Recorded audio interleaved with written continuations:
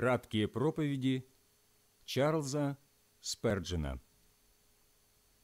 Проповедь 51.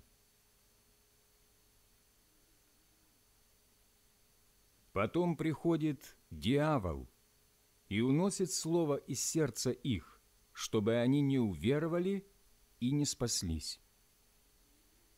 Евангелие от Луки, 8 глава, 12 стих.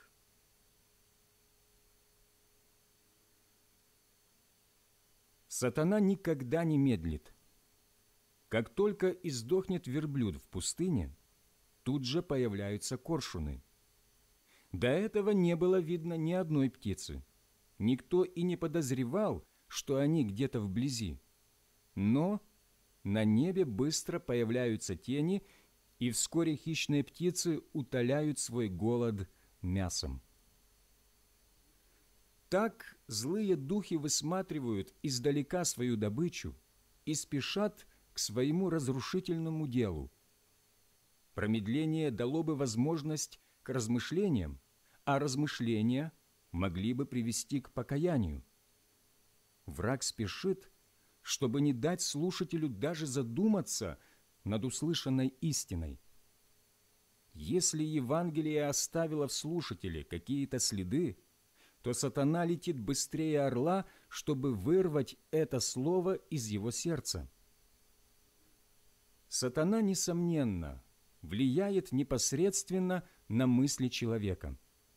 Это он внушил Иуде мысль о предательстве учителя – так как враг безмерно зол, то он не переносит, чтобы хоть одна единственная истина Божия благословила сердце.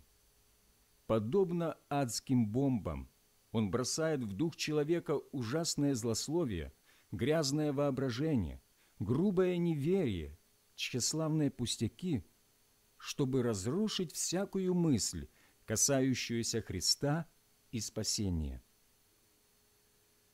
Он – злой дух, пугает его, причем его единственная цель – отвлечь мысли человека от Евангелия и не допустить их проникновения в сердце и совесть.